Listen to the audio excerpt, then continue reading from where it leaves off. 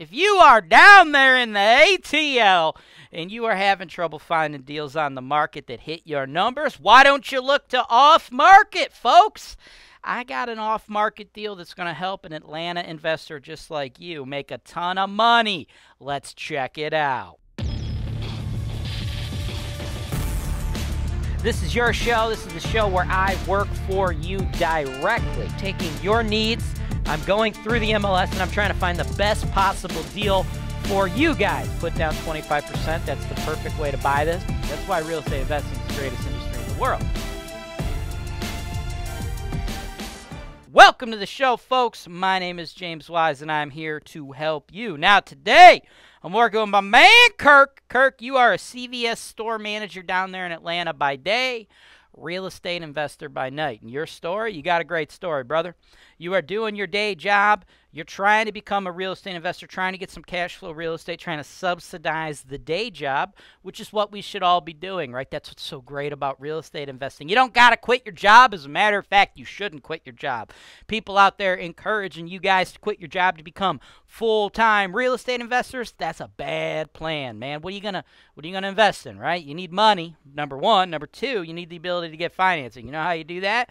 By having a great day job like you do, okay? So, Kirk, Good job out of you for your plan. But here's your issue the market in Atlanta, I mean, dude, it's 2022. The market everywhere is hot historic lows on inventory, historic lows on interest, which is making prices go historically high. So you hooked up with me. You're like, dude, I can't afford anything. Cash flow doesn't make sense. Can you find me something good? Because I know that's what you do, Jay Wise, and that's right. I go where the deals are, folks. We don't worry about where we live when we invest. We worry about where the deals make sense. So today, Kirk, I got a multifamily property for you in Northeast Ohio. Now, this is off market, right? I actually was doing this deal with another client. He ended up having to exit the deal. He's doing a few deals and uh, uh, just had to do the other ones, couldn't get financed for all of them. So this deal currently off market and before the seller puts it back out on the market for other bidders. I want to give you the opportunity to slide right in there, dude. 77 and a half is what we have it under contract, right?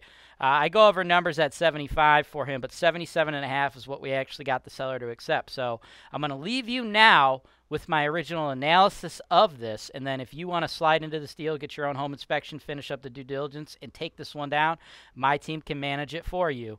Let's go.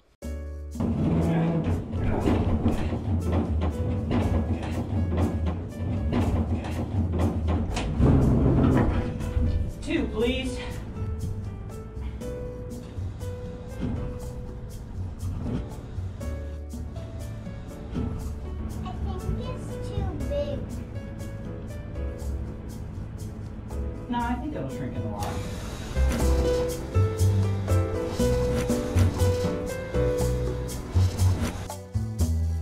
Welcome back, folks. This this is the good part of the show, the meat and potatoes, okay? 630 East Ave, Elyria, five days on the market, and I believe we're getting a big discount here. $78,900. Now, anybody who's uh, paying attention to my show or understanding what's going on with the Cleveland market knows if you're buying duplexes in decent C-ish grade neighborhoods, you're paying about a hundred grand. This one already deeply discounted at 78.9, and I think we could go a little bit further and get it for about 75. The question: Why?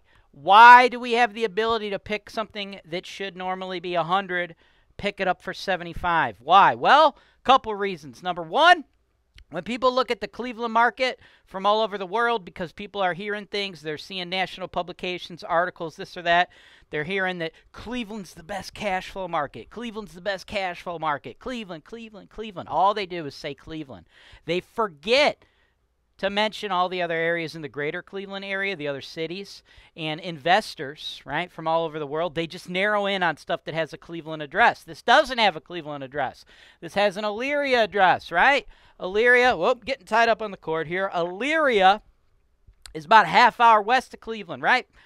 People heard about LeBron James, right? You know, you've heard of LeBron James. I would imagine if you're a, a, living, breathing human being, you know who LeBron James is, right? Everybody knows LeBron James is from Cleveland. Cleveland, Cleveland, Cleveland. LeBron James ain't from Cleveland, people. No, he's not. LeBron James is actually from a city called Akron. It's about 30 minutes south of Cleveland, right? Southeast. All right. So this is the same distance from the city of Cleveland as LeBron's hometown, but everybody just refers to everything as Cleveland, right? That's great. Because that means all the investors from nationwide are focusing in on the Cleveland properties, and I believe that artificially inflates their price a little bit. And then deals like this one fall through the cracks because nobody's paying attention, right? It's in the Cleveland market. My team, we handle it. 200 million in sales. We have tons of properties over here, right? To us, it's all the same, right? To the locals, it's all the same, right? To out of state folks, they don't ever pay attention to that. You never hear of Elyria.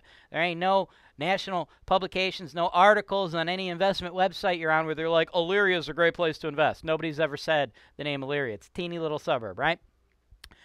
Cleveland, the Cleveland market, folks, multiple millions of people, right? I think it's three or three to four million people, I believe, is in our metro area. Only like 340,000 of them actually live in the city of Cleveland. Think about that, right? In addition, I actually like the government in Elyria better than the government in Cleveland.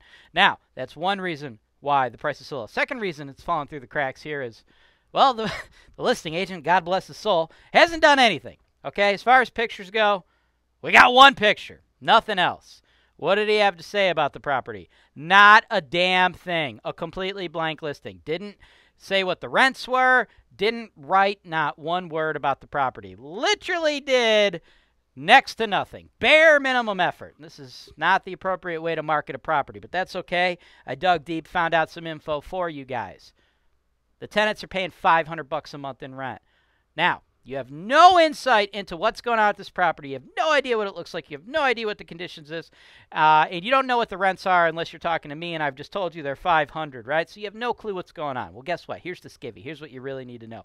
Here's the information you're going to have that everybody else doesn't have. 500 that's below market rent. Month to month tenants below market. Your market rates for these units are 650 and 750. We got a 1 1 a 2 1. Should be bringing in market 16.8. Of that 16.8, I believe after fixed and variable expense estimates, you'll be netting approximately 78 78. I believe we can get it at 75 because nobody's paying attention to Elyria, number one. Number two, the marketing. There's like nothing for anyone to work off of, right? Uh, so because of that, I think we can get it at 75. That means you pick this up only 18,750 out of your pocket. Bank kicks in the rest. And that, folks, would be a 27% cash on cash return if you can get those current tenants up to market rate. We'd want to do so by slowly increasing the rents. We wouldn't want a turnover to occur because I'm going to tell you some more information that's not in the listing. And you know what? This is information that you're going to get when you've sold $200 million worth of real estate. Here's the deal this is not something you should anticipate. The units are brand spanking new. No, long term, month to month, below market rate tenants. When those tenants move out, you're not just sweeping and then putting in new tenants at market rate. No, you're doing a full turnover, right? You're probably looking at like between five and 15 grand, depending on what's going on, right? Uh, walls, carpet, probably new kitchen, new bath uh, fixtures, okay? It's probably what's going to happen. That's what you need to anticipate. So we don't want to just jack their rent up and have them move out because we don't want to spend that money. No. Instead, we go up slowly 25, 25, 25 and get them up to market rent without ever creating a turnover, never paying for that turnover, right? Turnovers are what kill your returns, guys. Not getting a thousand bucks a month for a seventy-five thousand dollar profit. It cash flows right now. Okay, so everything we get is going to be cherry, right? You want to get more rent without incurring a turnover. And as far as your big ticket items, roof, hot water tank, furnace, do not expect any of them to be brand new because they are not. Now, back to my chart. As you see, I have a little something here. $840 a year for capital expenditures, okay? That's money you're saving. You actually get that money right now, okay? That's your money. But I'm not allowing you to consider that return, right? It I don't hold it. It goes to you. So you could spend it on freaking hookers and cocaine if you want, but what you need to understand is that's fairy dust. Different than the dust you're shoving up your nostrils. Uh, you're not actually making that money because you have some big bills that are going to be coming up. A roof is about $7,000. Roofs last about 30 years. This property don't got a new roof.